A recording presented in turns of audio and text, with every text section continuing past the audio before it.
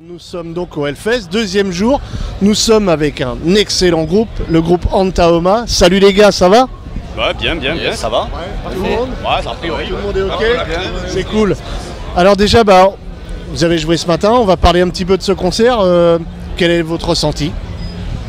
Ben, ça s'est plutôt bien passé pour un deuxième concert euh, dans Taoma, parce que ce n'était que notre deuxième concert. Donc, euh, bon, ben. euh, Le deuxième baptême du feu. ouais, ouais. Ça y est, bonne expérience, plutôt très bonne expérience. hein. Voilà. Là, on commence à redescendre un petit peu là. Il y a quand même beaucoup d'adrénaline qui est au moment de, de commencer là, donc ça. On, re- voilà, on- on redescend un peu. Non, non, content quoi, content. Ok, euh, on y était, donc on a vu le public qui réagissait quand même pas mal, qui, avait l'air euh, bien motivé. Euh, je pense que ça vous galvanise pour la suite. On va, oui, on a quelques dates déjà qui sont prévues, donc effe- effectivement, euh, pour l'instant on n'a que du, que du positif. Donc on va, on va faire en sorte de continuer un peu, euh, de faire du live. D'accord. Euh, J'ai une petite question. Pour- pourquoi autant de temps entre le premier album et le deuxième? Ah, question récurrente. Euh, bah ouais, euh, le, le rythme du sud-ouest fait que euh, On pas la même temporalité. on n'a peut-être pas la même temporalité que par chez vous. Non, non, mais en fait, ben, on était pas mal occupés avec Steel Volk déjà euh, et nos divers projets euh, annexes. Et, Il a fallu euh, trouver des musiciens Voilà, ça aussi. s'enregistrer, il a fallu composer. on n'avait pas forcément la priorité de faire un deuxième album après, après Malumbra. Donc voilà, ça s'est ça s'est mis en place progressivement et puis au final, euh, Ouais, pas de plan de carrière, quoi. Donc, voilà, on a attendu d'avoir les bonnes personnes pour continuer, pour faire quelque chose d'intéressant. Bah, Justement, vous allez nous présenter un petit peu le line-up hein, du euh, Antaoma. Vas-y. Ah ben euh, voilà, alors euh, on a deux, deux musiciens de Chaos DI donc. Patrick. Salut. Chaos DI. Et euh, Alexandre, là, qui est le bassiste ici. Bonsoir. Bonjour. Bonjour. Voilà, qui est. euh, voilà. euh, et euh, voilà. On les a recrutés euh, par bouche à oreille, hein, on les voilà. a recrutés, euh, voilà, clairement. par des connaissances communes. Vu qu'on n'avait pas forcément. Donc c'est pas le line-up qui a enregistré l'album parce que c'est très très compliqué. Le batteur était à Strasbourg, le bassiste. Bon. Donc on a préféré jouer sur les relations plutôt qu'avoir à passer les petites annonces. Donc moi j'avais déjà vu Causei sur scène, donc je savais que ça jouait. Euh, Alex nous a été euh, chaudement recommandé par le bassiste original mais qui n'a pas pu en fait jouer avec nous. Donc voilà, on est sur des gens qu'on connaît, qu'on savait qu'il n'y aurait pas de mauvaises surprises. Ok. Euh, quelle, di- quelle différence majeure entre le premier et le deuxième album? L'album est plus cohérent. Le deuxième, plus sombre.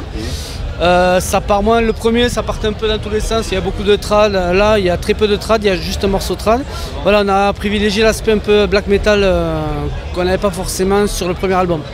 Donc la thématique, elle est plus sombre et plus, un peu plus black metal. Même s'il y a des morceaux un peu plus solaires entre guillemets, mais on est parti sur cette, sur cette optique. On a dégagé tous les morceaux les plus euh, festifs entre guillemets. Euh, Où avez-vous enregistré avec qui? C'est- C'est euh, c'est enregistré euh, chez nous, donc déjà pour nos parties. euh, et puis après pour, euh, pour la batterie, euh, c'est euh, un batteur qui est de Strasbourg.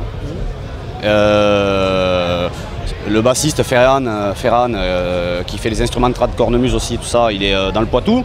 Donc c'est vraiment euh, est complètement éclaté quoi en fait. Et le guitariste aussi est, de- est du Gers, donc, par chez nous, le, guitariste de Boisson Divine.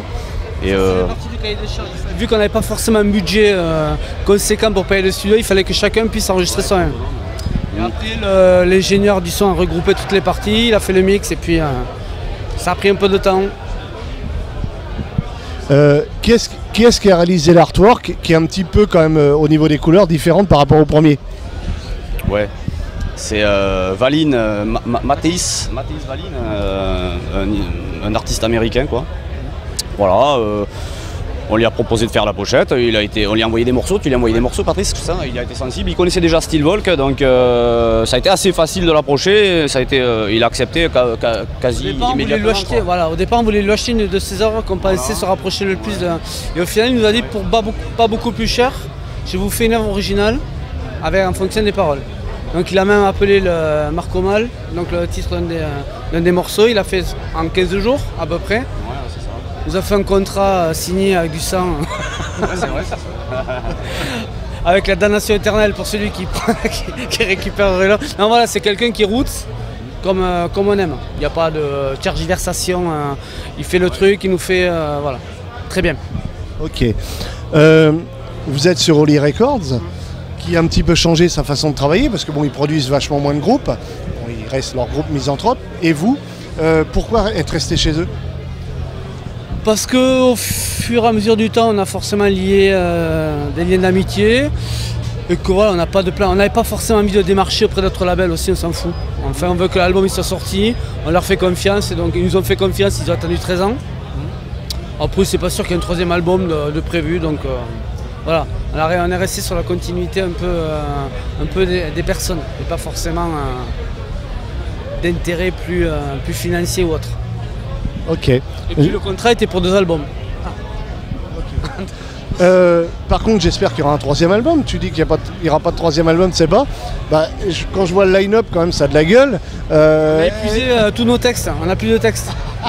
Non, non, parce qu'on est parti du principe qu'au départ, on ne voulait pas composer de textes en fait. Il fallait que tous les textes soient issus de la tradition un peu sorcellaire occitane.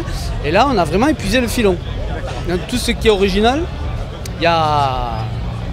Sur le textuel, c'est un peu dur de, de rassembler des, des sources. Après, euh, musicalement, on pourrait, on peut composer, on peut faire. la- C'est pas un problème majeur.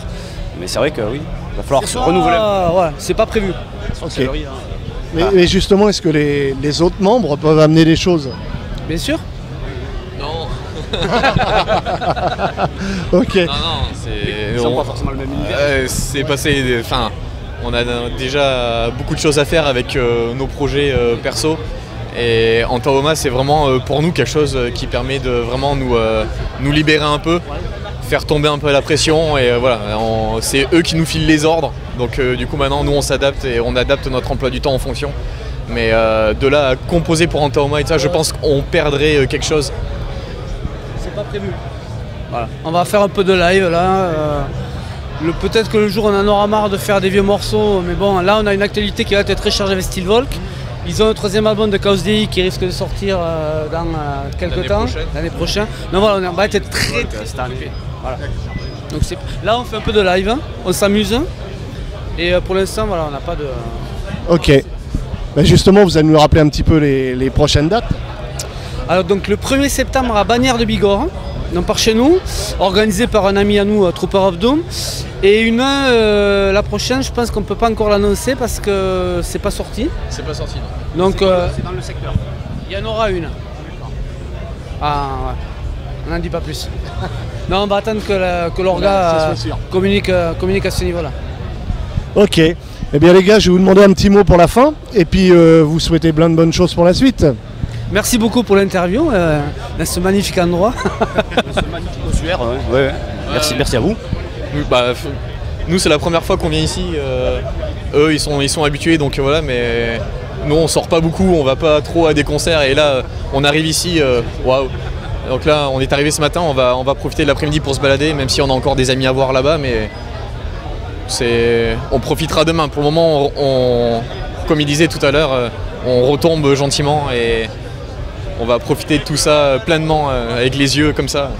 Mais c'est vraiment, c'est vraiment chouette. Ok. Ok. Eh bien, merci à vous. Et puis, à très bientôt. Ok. Salut, les gars. Salut.